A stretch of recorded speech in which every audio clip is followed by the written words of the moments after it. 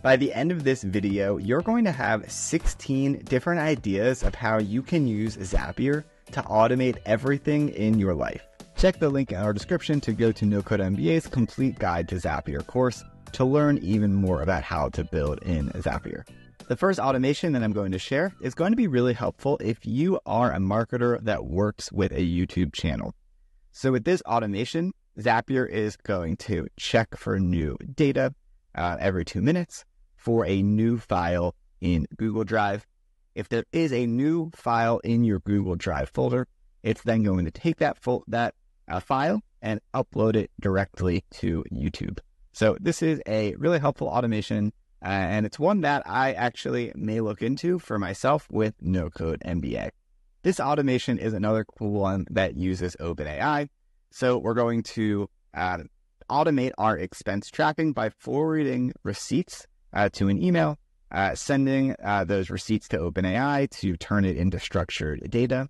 And then we're going to uh, take that data and put it into a Google spreadsheet. So it's a way to automate expense tracking um, by simply uh, forwarding an email um, to uh, with a receipt um, to a Zapier email address.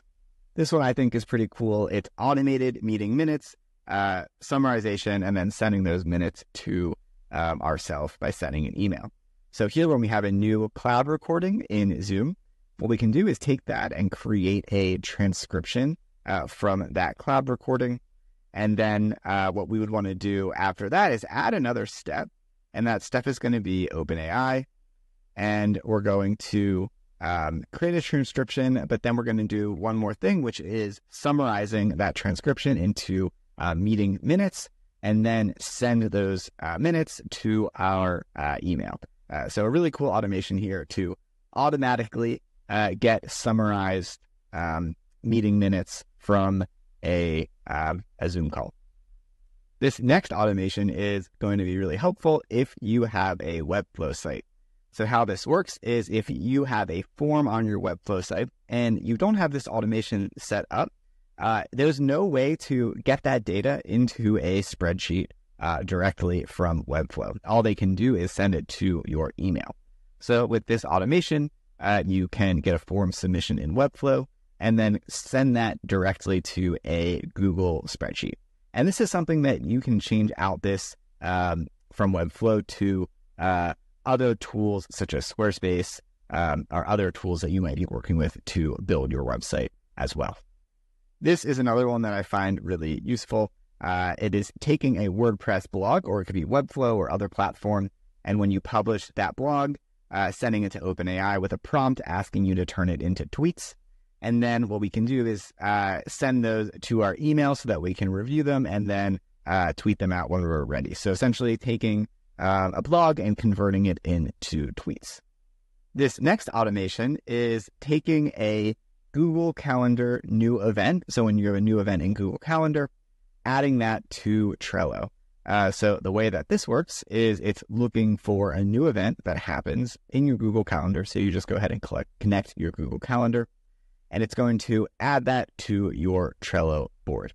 This is really helpful if you just want to make sure that you are putting those events uh, into a separate place so you don't forget about them on your Google Calendar, and then you can do uh, more with them in Trello, such as uh, preparing for them and making sure that you do everything that you need to do uh, to get ready for that event. So, this next automation is a way for uh, marketers or salespeople to take a new lead, send that lead to OpenAI. So, you would send um, that lead to your OpenAI uh, with a prompt to uh, add information about the lead. And then I want uh, that prompt to triage that lead into a uh, certain um, type of lead. So whether it is a uh, really good lead, uh, whether it is not as good of a lead, and then we're going to send that to um, our email uh, to let us know uh, how more information about that lead. So it's a really great way to get a lead, send that information to OpenAI, and then have it analyze that lead and send more information to us automatically. So this next automation is a little bit more of a personal automation. Uh, but what you can do is get a text message uh, when it's going to rain. So to do that, you can use the weather by Zapier uh, trigger, enter your latitude and longitude, And then uh, we can send um, an SMS uh, to ourselves, uh, giving us the weather um, if it's going to rain. Uh, so this is a really helpful one uh, just for personal use. This is a cool automation to create a personalized digest of saved articles to read later. Uh, so the way that this works is first we're going to use Feedly, which, which is an app that allows you uh, to create RSS feeds of um, different topics. And then when there's a new article um, in that uh, feed or that board, as Feedly likes to call it, we're going to um, send that here into this Digest by Zapier uh, app, uh, which is allowing us to add entries um, to a list and then schedule uh, the digest. And then when we schedule it out, we're going to save it into our Pocket app. Uh, Pocket is a way to read articles um, on the go. So we're connecting uh, three different apps or two different apps here using Zapier in the middle uh, to organize it.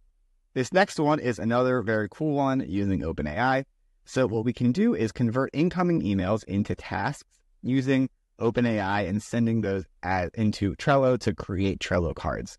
So what we can do is when we get a new inbound email, uh, what we can do is uh, send that email to OpenAI to analyze uh, the contents and then take those contents and turn it into a, a task that we put into uh, Trello, or we could do Asana or any other type of to-do list software here.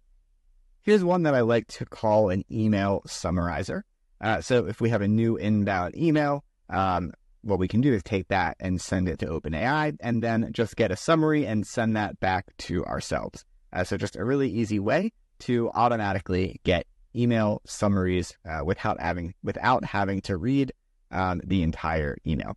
This is a cool automation to help you automate your travel.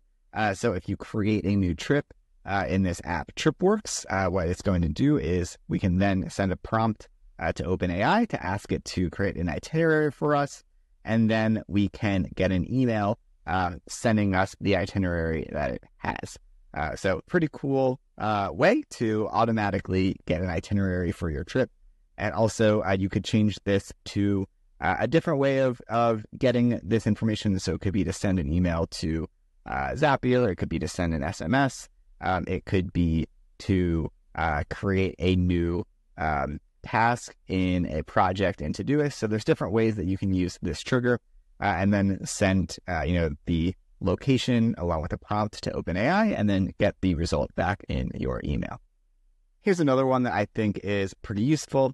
Uh, when we have a new Zoom cloud recording, we can automatically save that to our Google Drive folder. Uh, so you don't have to worry about downloading uh, the file and then uploading it to Google Drive. It will just do it uh, automatically every time you have a new uh, Zoom recording. So you don't have to worry about those getting deleted or losing those.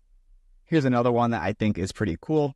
Uh, when you have a new uh, event in your Google Calendar, uh, what we can do is send an SMS. So if it's um, if your event is coming up or event has started, uh, send a, a text message to yourself to to remind yourself to go to the event. So you don't have to rely on uh, the push notification just in case you have that turned off. you'll get a text message to make sure that you won't miss that meeting.